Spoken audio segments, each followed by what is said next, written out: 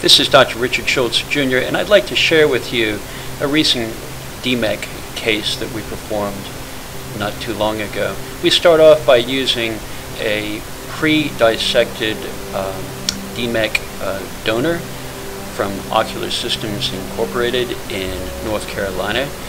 We then trephine the donor to 8 millimeters and after filling the donor corneal rim with balanced salt. We can then strip away the periphery of uh, Descemet's membrane as you see here, leaving behind a uh, central uh, 8 millimeter disc, uh, which is uh, still attached to the posterior stroma of the donor. Now again, we fill the donor corneal rim with balanced salt. It's important to make all of these maneuvers um, under uh, water so as to minimize uh, surface tension and stress on the donor. And you can see that this is uh, pulling away uh, quite nicely. And once the uh, donor is separated you're going to see it uh, automatically assume a scroll configuration with uh, DMEK uh, tissue, the donor always uh, assumes a scroll with the endothelium on the outside of the scroll.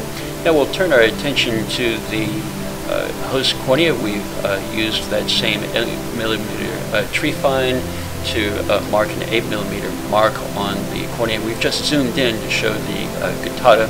Because of the pilocarpine preoperatively, there's not much of a red reflex but now we'll uh, begin the case by uh, making a side port incision at the uh, 12 o'clock position. This is a right eye, so our second uh, side port will be inferotemporally at the 7.30 uh, position, as you can see here. I like to strip Descemet's uh, under Healon because I feel that you get better control uh, doing it that way. You can also strip Descemet's uh, under air. Here we're introducing the Healon into the anterior chamber.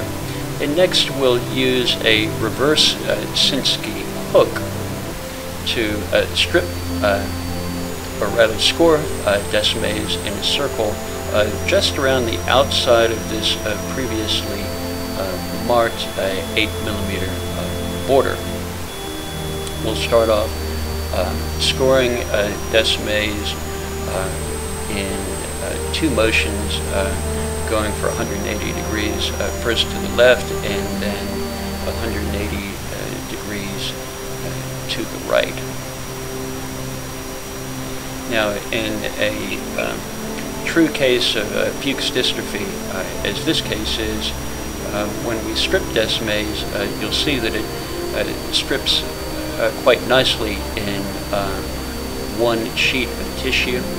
Now we're making the incision with the 2.8 millimeter diamond keratome enlarged to approximately 3 millimeters. Now this is the uh, scraper and you can see the uh, uh, membrane peeling quite nicely here. I should add that this case was recorded using our new Sony uh, high definition uh, camera system.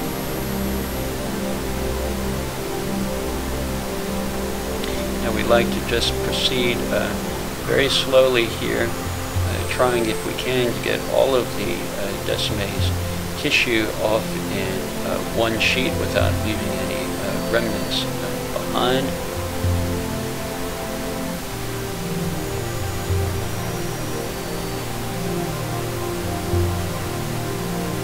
We've almost got all the tissue out here.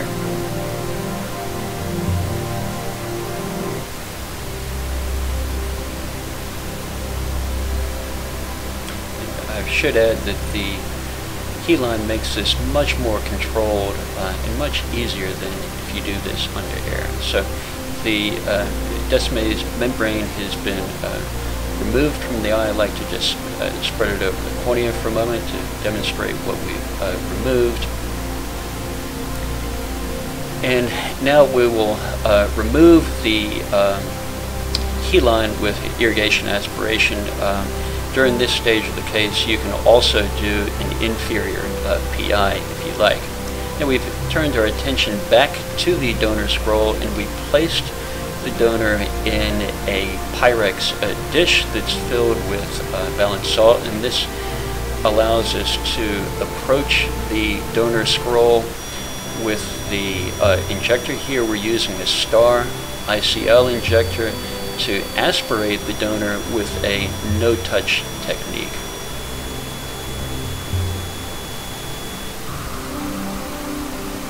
You can use other IOL injectors uh, as well.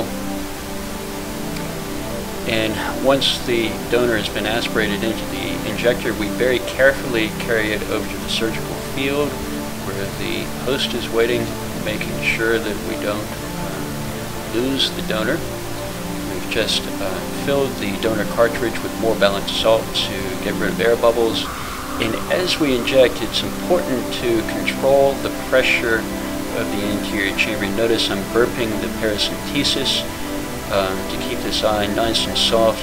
You do not want the anterior chamber to be firm while you inject. Otherwise, when you remove the injector, it's possible to expel the uh, donor scroll and lose your donor cornea. So now we'll very gently uh, withdraw our plunger and injector and then uh, using our cannula of balanced salt we'll just tease um, the uh, end of the donor scroll out of the uh, incision and gently maneuver the donor scroll so that it lines up with the uh, side port incision we've made. Now there are many, many ways of unfolding a DMEK uh, donor. In this case, it unfolded quite nicely simply by injecting uh, a bubble of air into the uh, donor scroll. As you see here, we introduce the cannula of our 3cc uh, syringe with air. Now we'll go ahead and inject some air and the donor unfolds quite nicely. Now this is a technique that Melles developed in which you uh, unfold the donor and uh, let the uh, donor, or rather let the air sit on top of the uh, donor for about 10 seconds or so. Then we're going to aspirate this uh, air bubble. We're just getting this last little bit of air here. Just center our donor. You notice to the right of the pupil there's an S stamp indicating correct orientation of the donor with the stromal side of the donor facing the uh, stroma of the host. We've just zoomed in to demonstrate that. Now we're going to take our air and uh, inject our air bubble underneath the donor